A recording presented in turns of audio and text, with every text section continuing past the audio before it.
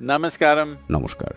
এই স্বাধীনতা দিবসটি খুবই বিশেষ, কারণ এটা স্বাধীন ভারতের পঁচাত্তরতম বছর শুরু হওয়াকে সূচিত করে। উনিশশো সাতচল্লিশ সাল থেকে ভারত অনেক দূর এগিয়ে এসেছে। আমরা স্বাস্থ্য, শিল্প, বৈজ্ঞানিক অবদান এবং আরও গুরুত্বপূর্ণভাবে লক্ষ লক্ষ মানুষকে দারিদ্রতা থেকে বের করে আনার সাপেক্ষে অনেকটা এগিয়েছি।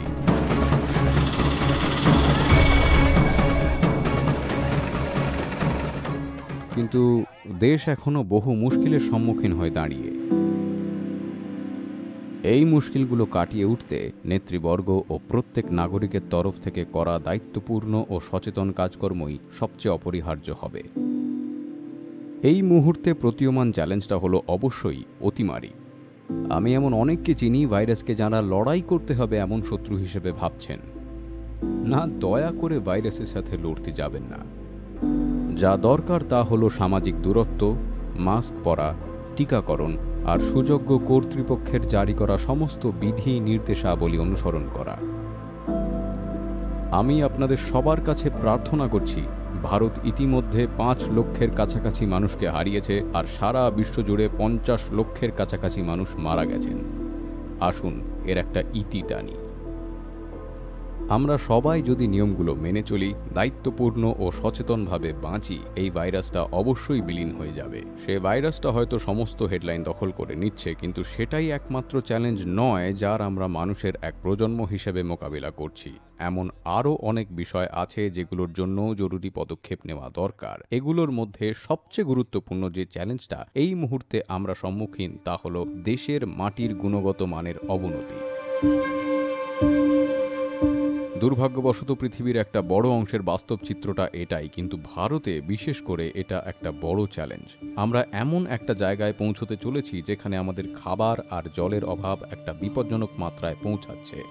দুবছর বর্ষা না হলেই আমরা এদেশে গুরুতর রকম খণ্ডযুদ্ধ আর ভোগান্তির মুখোমুখি হতে পারি। এই পরিস্থিতিটাকে পাল্টাতে না পারলে আমরা পরবর্তী প্রজন্মের হাতে যে গ্রহটা তুলে দেব, সেটা এমন অবস্থায় থাকবে যে তারা আমাদের কথা ভেবে আমাদের অভিশাপ দেবে। এভাবেই আমরা এটা ছেড়ে যাচ্ছি। এটা অত্যন্ত গুরুত্বপূর্ণ যে মানুষের বাঁচার জন্য আমরা যেন সমৃদ্ধ মাটি, পরিষ্কার জল এবং বিশুদ্ধ বাতাস ছেড়ে যেতে পারি, কারণ ধন সম্পদ থাকলেই ভালো জীবন আসে না। বরং আসে বিশুদ্ধ জল, বিশুদ্ধ বাতাস, পুষ্টিকর খাবারের জন্য। এই জিনিসগুলো এই মুহূর্তে মাটির অবনতির ফলে গুরুতরভাবে সংকটে। এই দিকটা সবচেয়ে গুরুত্বপূর্ণ যা আমাদের দেখতে হবে। আমাদের অতিমারির উদ্বেগের কারণে আমরা যেন এই বিষয়টা নিয়ে বেখেয়াল না হই যে আমাদের মাটির যত্ন প্রয়োজন। আমি এই ক্ষেত্রের বহু বিশেষজ্ঞের সাথে কথা বলে আসছি আর সব জায়গাতেই সমস্যাটার ব্যাপারে যথেষ্ট সচেতনতা আছে আর সমাধান কি তা নিয়েও। এখন কথা হলো, এটাকে বাস্তবায়িত করে তুলতে মানুষের সহযোগিতা দরকার। পৃথিবীর বেশিরভাগ দেশেই গণতান্ত্রিক হওয়ায় এটা খুব গুরুত্বপূর্ণ যে বহু সংখ্যক মানুষ তারা এটা বোঝেন। আর সরকারকে মাটির পুনরুজ্জীবীকরণ আর পরিবর্তে জলের সংকট ও অন্যান্য সমস্যা মেটানোর জন্য দীর্ঘ মেয়াদী নানা প্রক্রিয়াগুলোকে লাঘু করতে সমর্থন করেন। আজকে আমরা সর্বত্রই দেখছি জলবায়ু পরিবর্তনের সমস্যাটা বড় হয়ে উঠেছে আর আমাদের উপর নানা দুর্যোগ আছড়ে পড়ছে বলেই কেবল এগুলো বড় হয়ে উঠেছে। সচেতন মানুষ হিসেবে আমরা যেন আমাদের উপর বিপর্যয়ের আঘাত হানার অপেক্ষা না করি। আমরা যদি সচেতন হই, আপনি যদি সুসভ্য হন, বিপর্যয় আসার আগেই আমাদের জেগে ওঠা উচিত। বিপর্যয় কোনো মনোরম ব্যাপার নয়, এটা কোনো খবর নয়। এটা আপনার খবরের কাগজে পড়া বা টিভিতে দেখা কোনো খবর নয়। যেসব মানুষ ওখানে আছেন, হয় তারা নিজেদের প্রাণ হারিয়েছেন, নয় তারা সর্বস্ব খইয়েছেন। এর প্রতিকার করতে সবচেয়ে গুরুত্বপূর্ণ দিকগুলো হলো আমরা যেন অবশ্যই সরকারি নীতিগুলোতে অংশ নিই এটা নিশ্চিত করতে যে উল্লেখযোগ্য পরিমাণ বাজেট ও গভর্নমেন্ট মেশিনারি এতে নিযুক্ত থাকে। এটা হতে গেলে সরকারি নীতিগুলো ভীষণ গুরুত্বপূর্ণ। ভারতের মাটিকে রক্ষা করতে ঠিকঠাক নীতি উদ্ভাবনা করা খুব গুরুত্বপূর্ণ। প্রশাসন, শিল্প ও জনগণের পক্ষ থেকে দৃঢ় পদক্ষেপ গ্রহণ এখন ভীষণ ভীষণ দরকার। এখন আর এটা ভবিষ্যতের সমস্যা নয় এটা এখনকার সমস্যা, এটা আমাদেরকেই সামলাতে হবে। এই সমস্যাগুলো গত পঞ্চাশ বছর ধরে মাথা ছাড়া দিয়ে উঠেছে। গত পঞ্চাশ বছরে যে পরিমাণ ক্ষতি আমরা করেছি দেশের মাটির জৈব চরিত্রের, তা অপরিমেয় আর ক্ষমার অযোগ্য। এটাকে ঠিক করতে আমাদের দরকার একটা দৃঢ় প্রতিজ্ঞ ও কৃতি সংকল্প পন্থা। আর এটা পাল্টাতে আমাদের অনেকটা পথ পেরোনোর জন্য তৈরি থাকতে হবে। এটা করা সম্ভব। আর আমাদের সন্তান ও তাদের সন্তানদের দিতে পারার জন্য এটাই সর্বশ্রেষ্ঠ উপহার।